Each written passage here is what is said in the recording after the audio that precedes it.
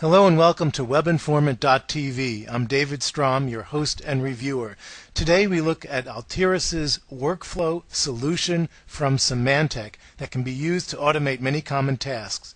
It does so with an innovative graphical applications development environment similar to how you would construct a flowchart in Visio. And you can see here a bunch of pre-built sample projects we have at our disposal you can download from the Altiris Juice website. You can use Workflow Solution to automate almost any kind of task. Processes that can run unattended and workflows that require some kind of end user interaction. Let's show you around the sample job candidate screening application here. While we aren't going to show you how to build workflows, we will hit on a few highlights of the product. First off, it's smart enough to show you logic breaks as you construct your flow. Click on one of the lines connecting the boxes and hit delete, and you'll see the warning messages. And when you right click on the surface, you can see what the actual logic breaks are.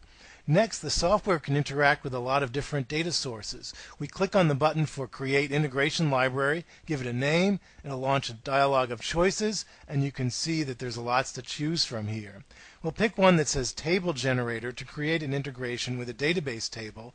OK, SQL Provider, choose Connection String, test the connection, choose the table, and we click Next twice to populate and compile and close it. It was that simple. We now have a connector to that particular table in that particular database. The software works both as a design tool and includes a debugger to test the workflow logic as you design it. To run a project, you press F5 and then run the debugger.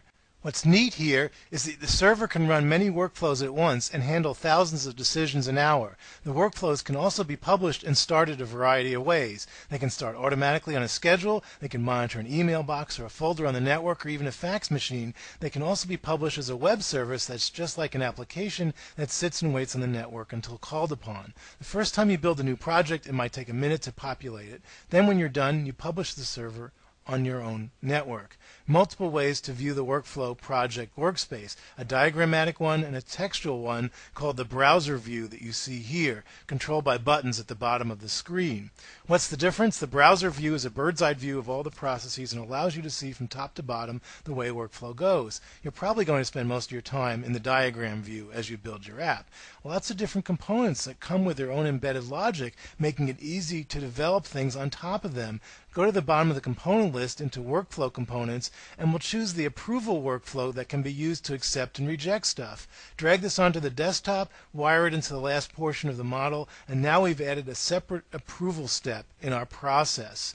There are tons of Altiris specific components that can extract information from their data repositories, such as the central management database and other asset management collections. You don't have to mess with these. As you can see, there's more detail if you click on the component. What I like about the product? There's no programming required to build complex logic model, and all you have to do is drag and drop components and connect up data sources and then guide you through the steps. And you can build some very complex models within models, like creating subroutines that you can reuse over and over again. As an example, go to the top of the model, double click on Employment Application, bring up the editor, then go into Interaction Setup, click on the dots on the dialog box to see the model that was built within this component. Now let's double click on the application contact box and that brings up the form builder. You can reorganize the form and still have it snap to the grid.